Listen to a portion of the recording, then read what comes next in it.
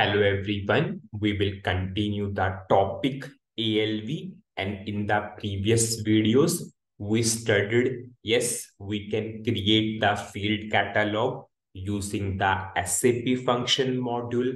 We can create the field catalog manually.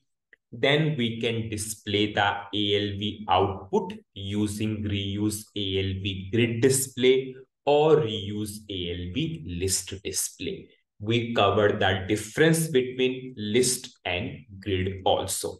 And yes, if you are using SAP function module to generate the field catalog, after that, you can change the field catalog also. If you are going for manual, anyways, at that point of time, you are doing everything from the scratch, then you can write the logic in that way itself.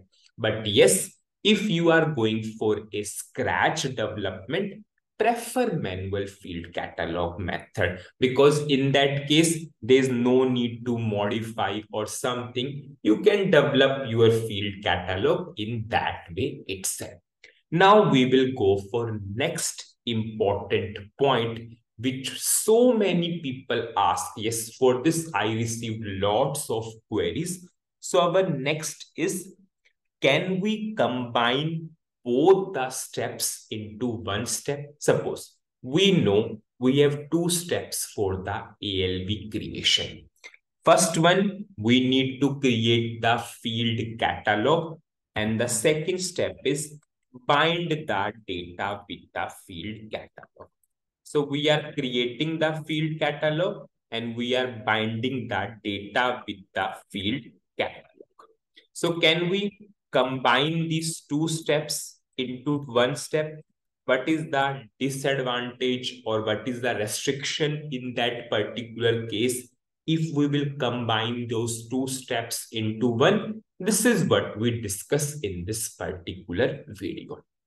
Suppose I will take any program. Suppose I will take this program itself.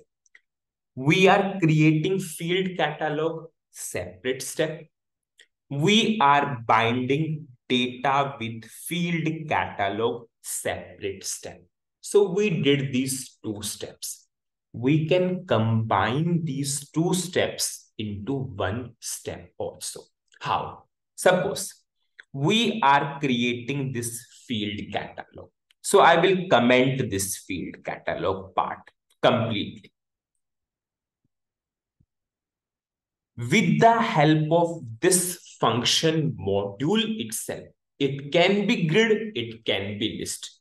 With the help of this function module itself, we will tell SAP, okay, generate the field catalog, bind the data with the field catalog. Now, I will simply, simply uncomment this parameter. I underscore structure name. Previously, you pass the structure name to this particular function module. And SAP separately generated the field catalog and we pass that field catalog internal table to this function module. Now we are not going for separate step. With the help of this function module itself, we are doing both the things. So in front of structure, I will pass the name of the structure which we created. And yes, it should be a global structure. Now, SAP will generate the field catalog. Now we are not passing the field catalog. We are telling SAP to generate the field catalog and we are passing that data to this particular field catalog. Have you seen? With the help of one step itself, we did both the things. Similar is for manual field catalog also. Suppose if I will go for manual field catalog program, if I will go for this program, manual field catalog, you can comment the logic for manual field catalog. There's no need for manual field catalog. you can simply pass the structure and you can go for the data. There's no need to pass the field catalog internal table. Now, if I will show you the output, then we will discuss what is the major so many limitations of this. Suppose I am going for any input and you can see output is coming. Now, suppose now I will go for a requirement. You gave this particular program to the customer. You combined both the steps into one and we are telling SAP, that we are going for one function module and do both the things. Now, next thing, after few days, what customer is saying, I want to change the position of these two columns. But customer is saying, I want to change the position of these two columns. I want to change the label of material. Suppose I want this column to appear as checkbox. I want this column to appear as hotspot. I want this column to be editable. Now the question is, you do not have a separate step of the field catalog. So your flexibility is completely gone at all. If you have a separate step of field catalog, you can change the positions also. You can change the labels also. You can make editable. You can go for checkbox. You can go for hotspot. After that, you can pass to this particular function module whatever the changes you are doing with this particular field catalog. Same is here also.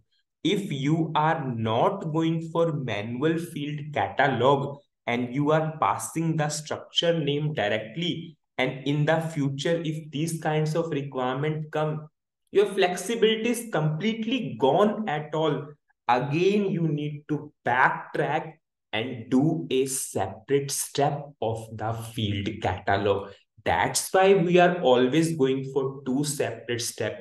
We are going for a separate step of field catalog. We are going for a separate step to bind that data with the field catalog. Yes, if you think, yes, the scope of the program is freezed, no further changes will come in the program. Customer will never say to make editable. Customer will never say to go for hotspot. Customer will never say that we need to change the position. Customer will never say to change the labels. Then we, there's no need to go for two steps. With the help of one step itself, we can do everything. But never tell in any interview that ALV creation is one step. No, ALV creation is two step only. We can just skip this part, but with the help of this function module, SAP will do both the things together.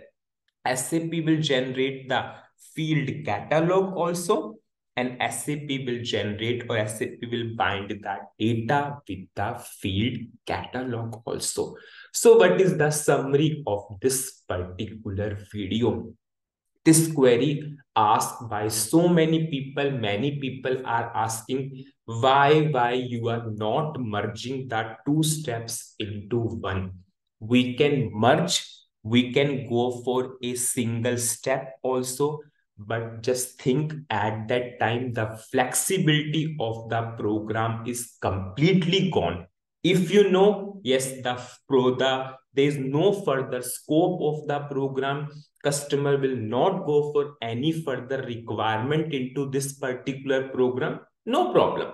Go for this particular step, single step at all. But yes, it does not mean that the field catalog is not there.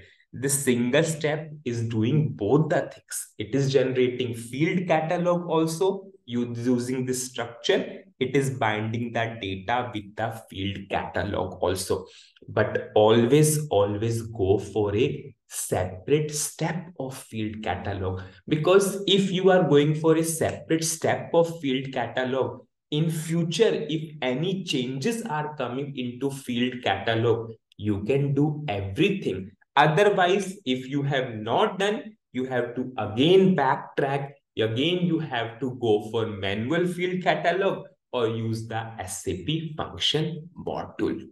So this is the way how you can decide. You can combine also or you want to make a separate step also. But it's always, always suggestible and go for a separate step of field catalog so that you can accommodate all the further changes, whatever the changes are coming into the future.